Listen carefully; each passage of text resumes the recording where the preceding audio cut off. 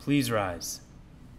I pledge allegiance to the flag of the United States of America and to the republic for which it stands, one nation, under God, indivisible, with liberty and justice for all. Good morning, Geneva. I'm Aaron Housingay. And I'm Skylar Zimney. And you know, I've always wanted to visit a college campus, but I've never gotten the chance to. Well, lucky for you. Coming up on today's show, we have information how you can visit a college campus with the school.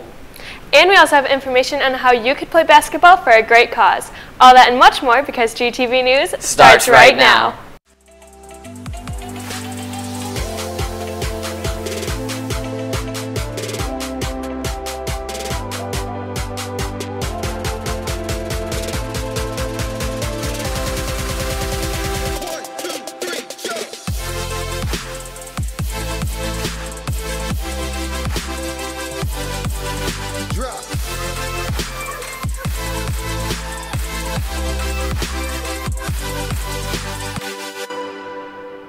Welcome back, to Geneva, and here are your morning announcements for Wednesday, March 22nd, 2017. Hoops for, for Heart is in all PE classes. If you want to be one of the lucky students participating in the 3-on-3 basketball tournament, make sure to buy a shirt for $15 or buy a shirt and socks for only $15. You can donate at lunch or in the PE offices. All sophomores and juniors, you have the option to visit a college early. The counseling department is hosting two college field trips in April to Waubonsee Community College and Sugar Grove campus on Thursday, April 13th, or University of Illinois at Chicago at, and Elmhurst College on Wednesday, April 19th. Go down to the counseling and advising office to learn more. And thinking of bringing a sweetheart from, from another school for prom? Well, you need something first. Prom guest passes are now available down in the dean's office. They will be due April 13th with a photocopy of your guest ID or driver's license. All National English Honor Society members, please visit KK 268 before school or between periods for information on spring service opportunities and hours. You must sign in on the attendance sheet and get an informational sheet by this Friday, March 24th. Coming up after the break, we tell you and how you can get involved with a very creative club. And we have your German fact of the day. Stay tuned.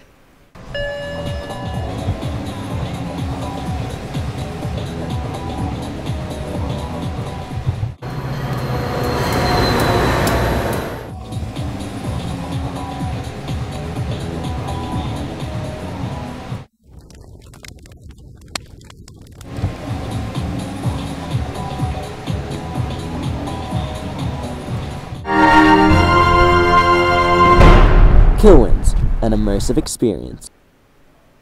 The Viking Revue is coming up, and all talented students are welcome to audition. The auditions will be right after spring break, but in order to try it, you must talk to Mrs. Curtis in room C141. You only have a few days left to get your audition time, so make sure to talk to her before break. Anyone that is interested in the next Write Club event at the Playhouse 38th Theater should email Mr. Whitman by tomorrow. If you are interested in this battle of literature on April 7th, make sure you email Mr. Whitman as soon as possible. It's the right thing to do. In honor of German Week here at GHS, we have a German fact of the day. The German language is spoken in many regions of Europe. It is the main language of approximately 100 million people, or 13.3% of all Europeans. German is also the second most spoken language in Europe. And speaking of German, German National Honor Society will be selling pretzels tomorrow morning in the cafeteria during PLC. The pretzels are $1.50 or $2 with cheese.